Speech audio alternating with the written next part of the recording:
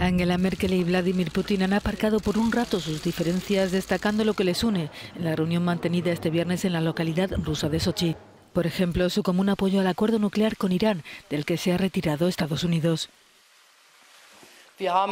Tenemos un interés estratégico en mantener unas buenas relaciones con Rusia, ha dicho la canciller alemana.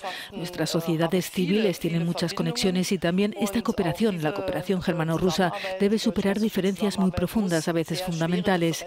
Pero repito, si se quieren resolver los problemas, se tiene que hablar.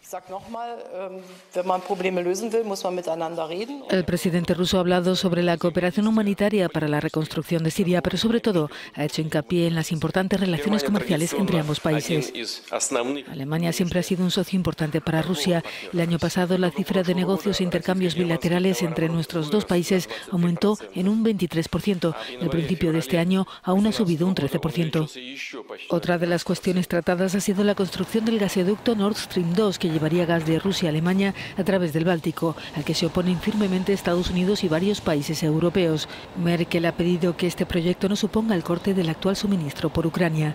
Sobre el ex espía Sergei Skripal ha asegurado si se hubiera empleado agente nervioso estaría muerto.